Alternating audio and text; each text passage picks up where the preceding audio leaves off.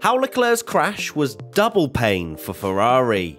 I really cannot believe I'm having to make this video for you all right now. There I was, a smug little Matt, doing a Twitch watch along for you all.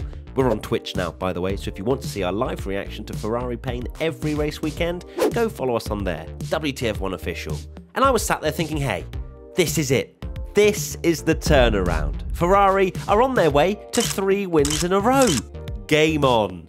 But nope, lap 18, it all goes down the toilet as the camera pans to a red car in the wall after a driver error.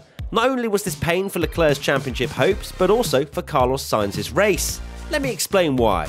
Carlos Sainz was on a different strategy to a lot of other drivers due to his grid penalties for taking a whole heap of new engine parts. Starting on the hard tyres, he was looking for a long first stint before then properly going on the attack when switching to the mediums for his one-stop strategy. However, his teammate crashed at a really suboptimal time. The crash meant that the safety car, of course, came out, giving all drivers an opportunity to change tyres in a race where the track temperature soared past 60 degrees. So it's safe to say no one was going to pass on a free pit stop for some fresh rubber.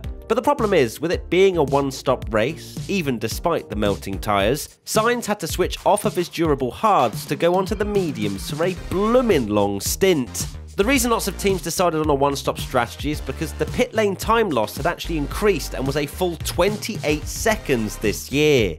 Also, not only was Sainz forced to go onto the mediums much earlier than he wanted, but he had a massively slow pit stop and was then released into the path of Alex Albon, who had to slam on the brakes to avoid the Ferrari which then gave Carlos a 5 second penalty. Yes, a 5 second time penalty, not a 5 second stop and go like they told the Spaniard whilst he was driving, only for him to turn around and tell his Ferrari pitwall that it was only a time penalty.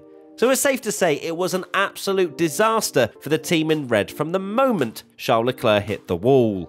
It doesn't end there either. There was then what seemed to be quite a lot of indecision on the Ferrari pitwall. Shock on whether they were going to stop Carlos for a second time or try and make it to the end of the race on the yellow walled medium tyre. Now, I don't mind for a second the team deciding that a second pit stop was necessary to ensure he'd make it to the end of the race, but doing so with only 10 laps remaining? I know Ferrari themselves have all the data to make calculated decisions, but the commentators, fans, and even Carlos himself was questioning the late call to come in and lose so much time in the pits and not have much time to make it back up. Sometimes what is said on the computer is not the best strategy, even if all the numbers seem to point that way. I mean, it seemed like Ferrari were completely staring at their calculations and not what was going on out on track, as Carlos was told to box as he was side by side with Perez for P3.